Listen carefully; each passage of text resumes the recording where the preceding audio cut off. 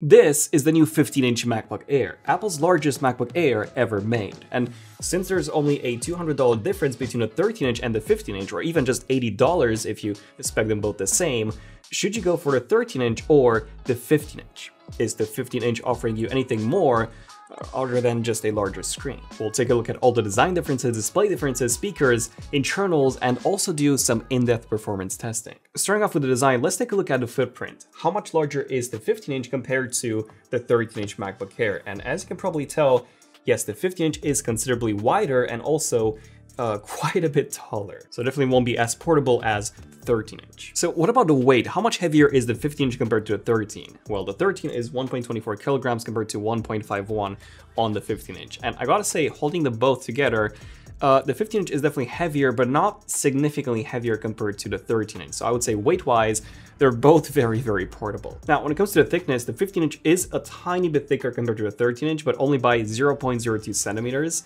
And looking at both side by side, I can actually tell the difference, but again, you have to be looking at both side by side, and the difference is just very tiny. And one last design difference is that, of course, with the 15 inch, we have more space uh, on the sides of the keyboard, and then the trackpad is also considerably larger than on the 13 inch. Although having used the trackpad of the 13 inch, I've never really had any issues with it. But one device to compare the 15 inch Air to is the 15 inch MacBook Pro, as this is really the closest in terms of what the Air stands for. This was a very thin laptop with almost no ports, uh, and it focused on portability rather than performance, which is really what the 15-inch Air is focused on as well. So if we compare the footprint, you can see that the 15-inch MacBook Pro was about one centimeter wider and um, just a tiny bit taller as well. So yes, the 15-inch Air is more compact. In terms of the weight, the 15-inch MacBook Pro weighs 1.83 kilograms compared to 1.51 on the Air. And I gotta say, uh, the weight difference is noticeable, but it's not that massive. So this thing was actually quite light. Now, when it comes to the actual thickness, on paper, there is a considerable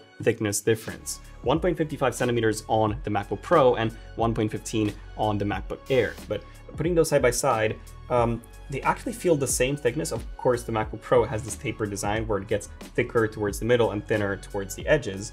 And if we open these up, you can probably see that the Air is indeed a tiny bit thinner, but not by a lot. Although a reason for both looking the same could also be uh, the feet, which are much taller on the MacBook Air compared to the very, very shallow feet on the old 15-inch MacBook Pro. Now, when it comes to the actual displays, this is of course the biggest difference between the two, with a 15-inch having a 15.3-inch panel compared to the 13.6 on the 13-inch. We have a 2560 by 1664 resolution on the 13-inch compared to 2880 by 1864 which is, fun fact, the same resolution as the old 15-inch MacBook Pro, uh, just with extra 64 pixels for the notch area. Now, of course, one advantage of that extra resolution is that you also get more scaling options. So by default, the 15-inch has the same resolution, the scaled resolution, as the higher end upper resolution on the 13 inch. But then of course with the 15 inch you also get one extra option. And just opening up a web page you can see how much more content you get on the 15 inch compared to the 13 inch. In fact,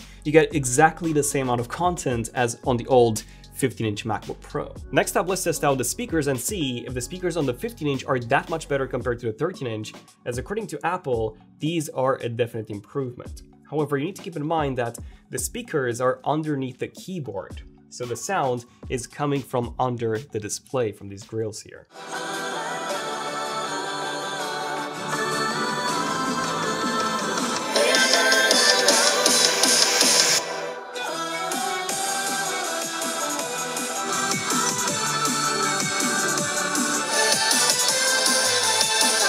Okay, so realistically, the 13 inch definitely sounded the worst and it only has a four speaker system compared to the six speaker system on the 15 inch with force canceling woofers. Now, I gotta say the difference between the 13 and the 15 inch uh, was mostly in terms of the volume, and the 15 inch did have a tiny bit of bass compared to the 13 inch, which was lacking it entirely. And then the 15 inch MacBook Pro was definitely louder than the 15 inch Air, uh, but also lacked the clarity of the 15 inch Air. Oh, and if you just got a new MacBook, whether it's the new 15 inch Air or the 13 inch or even a completely different MacBook, one app that I always install myself is Setapp are also kind enough to sponsor today's video. Setapp is the best collection of apps for iOS and macOS. You'll find that the amount of services on the market can often feel like way too much. Some companies will be happy to let you get lost in endless options, and some would just say compromise. but often the best choice is somewhere in the middle. Setapp's growing collection of more than 230 apps covers as many use cases as possible, aiding in everything that you are professionally using your device for, helping you choose the apps that suit your use case while staying affordable too. My favorite Setapp apps are Bartender, Session, and iStat Menus. You get a 7-day trial and after that, it's only $999 a month. So be sure to check Setapp out by using the link below. And now, let's get back to the testing. Okay, so I've taken both of them apart to see if there's any difference between them, and I've immediately noticed some differences. First, the two side batteries are now separated on the 15-inch into four different cells as opposed to just two cells on the 13 inch. Unclear why this is. Second, you can immediately see the beefier speakers on the 15 inch that are also in this L shape, and then the connectors for the ports go under the speakers. And third, we now have these extra metal plates on the sides, which could be there to reinforce the entire chassis. Okay, now let's talk about the actual performance differences between the 13-inch and the 15-inch. I should mention that the 15-inch comes standard with a 10-core GPU option, whereas on the 13-inch you only get the 8-core. And if you want to get a 10-core, you have to pay $100 extra. Also, it would be interesting to see if the larger chassis of the 15-inch handles the heat better and if in turn we end up getting better performance. Starting off with a disk speed test, both have a 256GB SSD and with this version you actually get half the storage speeds of the 512GB model. If we look at the storage speed differences, it seems like they're both very similar with a 15 inch being about 130 megabytes per second faster in terms of the write speeds. And when compared to the 512 gigabyte model, as you can see, we are indeed getting about half the speeds. But okay, how would these slower speeds affect the actual file transfer? Well, here we have a folder with 17.91 gigabytes of video files, which took 27 seconds to transfer on the 15-inch MacBook Air. Now, this is really weird as this is exactly how long the 512 gigabyte model of the 13-inch took when we tested it, with a base 13-inch model taking 1 minute and 7 seconds. However, this was at launch, and when we tested this again on Ventura, the base 13-inch took only 30 seconds. So we don't really know if Apple made some improvements to improve the transfer speeds on the base models, but yeah, at least right now, they both seem to match what a 512GB model uh, had at launch. So what about pushing both CPUs to their max? Would a 15-inch perform any better? Well, here we have Cinebench, which we're going to run three times back to back. In the first run, they both scored exactly the same, but then the 13 inch started scoring lower and lower, where in our third run, the 15 inch was 100 points ahead. And when we took a look at the temperatures, the 13 inch was running cooler, but that was because it was tuning down its clock speeds more, hence the lower scores.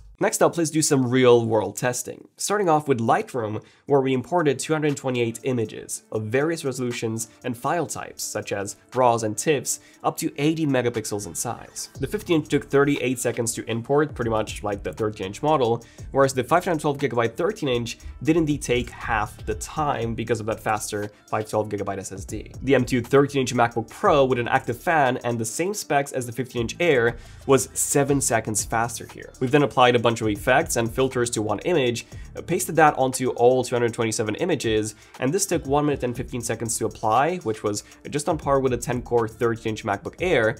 Surprisingly, the 8-core 13-inch actually performed better here. We then exported all 228 images in full resolution, which only took 19 minutes and 11 seconds on the 15-inch. The base 13-inch took more than 30 minutes, while the high-end 13-inch took close to 28 minutes. In fact, the 15-inch was really close to the 13-inch M2 MacBook Pro, which took 17 minutes. Next, we exported the same images, but compressed them to their smallest size and here the 15 inch took 9 minutes and 25 seconds, as opposed to close to 18 minutes on the base 13 inch, or 11 minutes and 37 seconds on the high-end 13 inch. However, the M2 MacBook Pro 13 inch was much faster here, taking just 5 minutes and 40 seconds. We then moved on to Blender and rendered the classroom scene using the Cycles CPU renderer. This took 13 minutes and 40 seconds on the 15 inch, almost a full minute less than the 13 inch model, although it was a bit slower than the 13 inch with the 10 core GPU by 10 seconds. Now, this could be due to our 10-core 13-inch model having 16 gigs of RAM as opposed to 8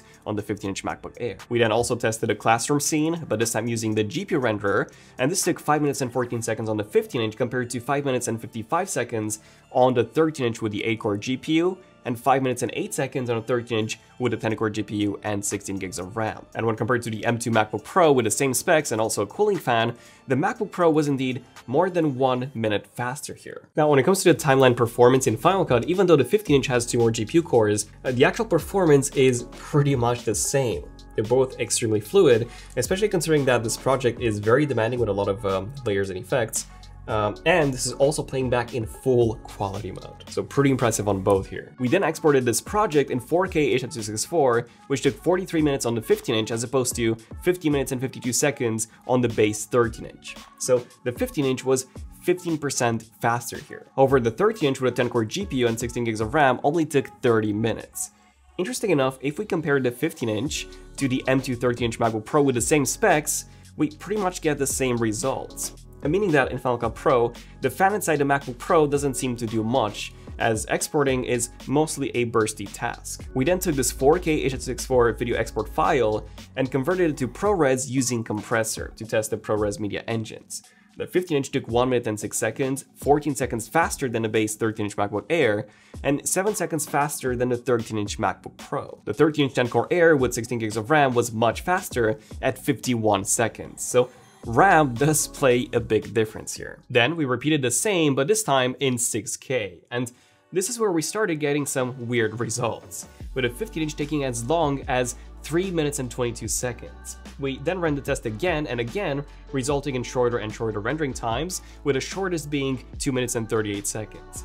But even this was noticeably slower than the base 13-inch and the 10-core 16GB of RAM 13-inch, which took 1 minute and 35 seconds. We don't really know why this is, it could be a bug on the 15-inch, specifically when using compressor. Next up we have logic, where we wanted to see what is the maximum amount of tracks that each machine can play. And it seems like the 15-inch maxes out at 70 tracks, which is the same amount as both versions of the 13-inch, meaning that RAM doesn't play a difference here. Moving on to some gaming, we first tested Shadow of the Tomb Raider, which is not an Apple Silicon game as it is running through Rosetta, but it does take advantage of Apple's Metal API, so it is quite well optimized in that regard.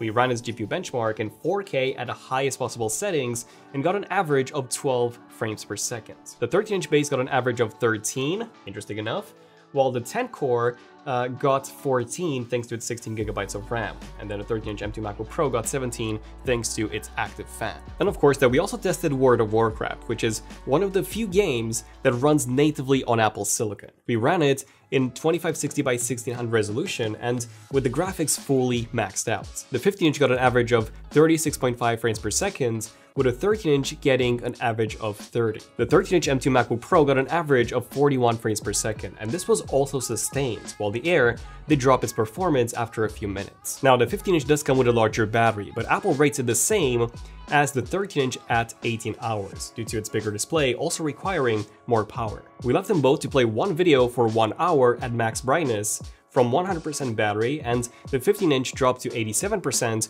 while the 13-inch dropped to 90%. So it seems that at least when you're maxing out the brightness, the 15-inch will consume more power, despite it having a larger battery. So in conclusion, the 15-inch definitely offers you more than just a larger screen, with noticeably better speakers, better performance, and also a faster 70 watt charger. However, that performance is not necessarily sustained, because of its passive cooling, we had to run our tests multiple times, as our numbers kept getting skewed by the overheating caused by the previous tests. Apple even stated recently that the Air is aimed at bursty workloads. Still, if you spec them exactly the same, you'd only be paying $80 more for the 15-inch in which case I would say that it is absolutely worth it. However, you can actually get the 13-inch refurbished from Apple for just $929 which is an amazing deal. Personally, I'd still go for the 13-inch due to its increased portability, but for everyone wanting a larger MacBook, they don't have to spend 2.5k for the 16-inch anymore. Stay tuned for a comparison between the 15-inch Air and the 14-inch MacBook Pro. I'm Daniel, this has been Tech, and I'll see you guys in the next one. Tech, signing out. Cheers.